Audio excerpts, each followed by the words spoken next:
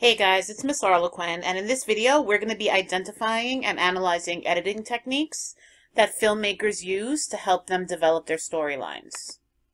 So in this lesson we're going to be focusing on film editing, specifically why it's done and some of the techniques that film editors can use. By knowing the different types of techniques an editor can use, we can then look at film and film clips more critically, the same way that we look at text. Remember that a film is another type of text. And just like we look at the author's craft when we're looking at written pieces, we want to look at the filmmaker's craft and think about why they made the decisions they made, how using certain techniques can help them develop certain central ideas and certain themes. So we're talking about editing. Basically an edit is what joins two shots together. So I'm going to show you a clip from a very famous film called Citizen Kane. And it has a few interesting edits in it. So I want you, as you're watching the clip, to look for where one shot begins and the next one ends.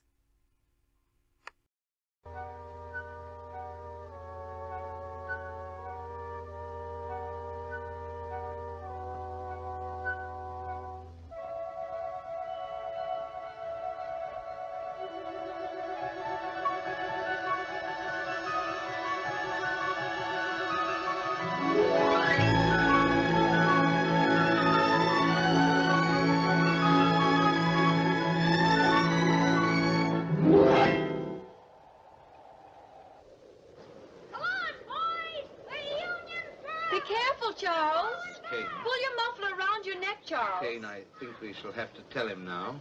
Yes. I'll sign those papers now, Mr. Thatcher. You people seem to forget that I'm the boy's father. It's going to All right, so when we analyze a clip like the one we just watched, there's a couple things you want to think about.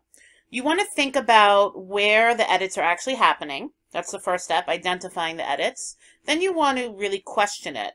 Why do you think the editor moved from the first shot to the second? Why did they use that specific type of edit? What did that edit communicate to the audience? So was there a change of place, a passage of time, a different point of view? Is the editor trying to make a connection between the first shot and then the second shot and using the edit or the cut to actually show that? So for example, a director might first show a shot of the outside of a house, then the inside, so the viewers will know where they are when they go inside. It's kind of like establishing the setting. A director might film one person's face as they talk and then move to another person's face to show their reaction. That happens a lot in conversations. So now what is the purpose of film editing and what is the role of a film editor on a film project? Well, basically editing is taking different shots that have been filmed and piecing them together to tell the story. So the most uh, common type of edit is just a cut. When you cut, you're basically just taking two pieces of film, you're splicing them together so that the film cuts from one image to another. It's kind of actually pretty abrupt because there's no real transition between one cut, one um, image and another. It just cuts. So it actually is exactly the way it sounds. I think you'd better explain yourself, Wadsworth. Me? Why me? Who would want to kill Right here, we actually see a cut. Now there's another cut. Here's another cut. You can see it's very abrupt. It's going right from one image to another. Next, we have a type of edit called a fade. It can be to or from black or white. A fade could begin in darkness and a gradual and then gradually the scene becomes brighter. That's usually called a fade in. Or you can have an image that gradually gets darker and that's a fade out. Obviously a fade in would be better at the beginning of scenes and a fade out would be better at the end of scenes. A fade often implies that time has passed or, like I said, it could signify the end of a scene. Alright, so here we're going to see a fade out and now a fade in. Alright, next we have a type of edit called a dissolve. A dissolve is a kind of fade in where one image is slowly replaced by another. And it's a really good edit when you want to create a connection between images. You can see from these still images here that the painting is slowly dissolving. In this middle image, there's like the two images are kind of on top of each other until it fades into the next image, which is the water.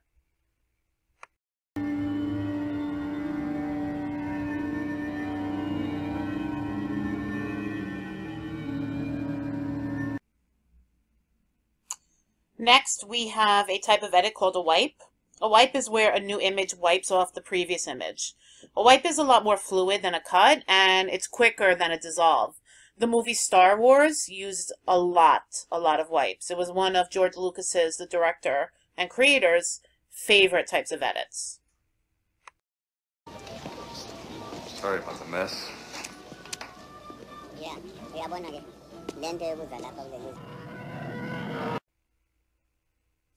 All right, next we have a group of editing techniques known as shot reverse shot. This usually is just cuts from one shot to another, but the name for this group of cuts is shot reverse shot. It's the shot of one subject, then another, and then back to the first. And this type of editing technique is usually used for conversation or reaction shots. It's the way you can tell that this character is talking to that character, and it just keeps like the continuity and the fluidity of the scene.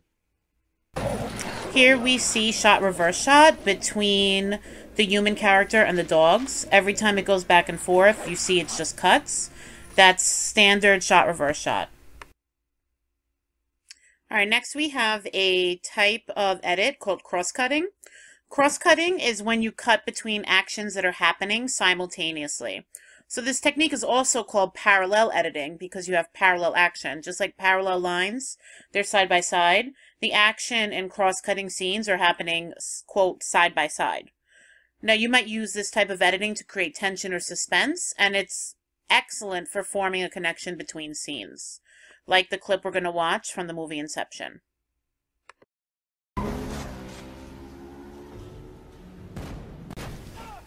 All right, so here we see the action cutting from the action in the first location now to this character in the hotel room, uh, hotel hallway. And then it's going to cut back um, in a moment to the action of the guy driving in the van, that chase scene. And now this entire scene is filled with just cross-cutting between these two important sequences the characters who are trying to escape through the car chase and the characters who are fighting in the hotel. And those two events are connected to each other in the narrative. They're actually trying to get to a certain location before this guy in the hallway can complete the mission that he's on. And if they don't get there in time, the whole plan that they have is going to be for nothing.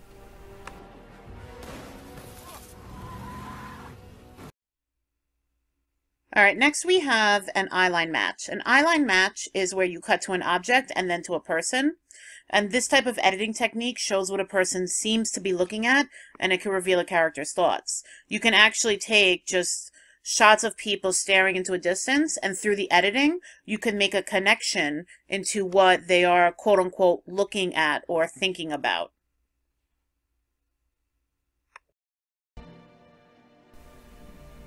Here in this clip from The Silence of the Lambs, we see Jodie Foster. We cuts to this object, which is going to end up being a head. She's investigating crimes, and that eyeline match shows what she was looking at when it cuts to the object.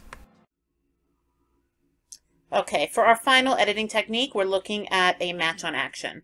A match on action is a cut which splices two different views of the same action together at the same moment in the same movement making it seem to continue uninterrupted. So we're going to see in this clip um, how a match on action can show, again, two cuts. It's really from two different cameras in a way because you're going to have the camera that's facing one direction and a camera that's facing another. You cut them together and it seems like it's just this continuous movement. A match on action could also be the same camera, just the camera's moving. But instead of following and having the camera rolling as you move the camera, you just use edits to cut. So the match on action might be the character's going to the door and then you cut and the camera's a little bit closer and now you actually see the character opening the door. Then you have another cut and it's the next uh, image where the door is almost open and then you cut again and you move the camera and you see the character walking through the door. So all of those cuts follow the character through their action. It matches through the action. All right, in this clip, we're going to see the match on action right here. You see where it went from the guy swinging his sword, and then it cut, and you saw him swinging it again. All right, so now that we've gotten our basic introduction to editing techniques, we are ready to actually start looking at a film in class and seeing if we can identify these techniques being used and how we think they are helping to develop the narrative.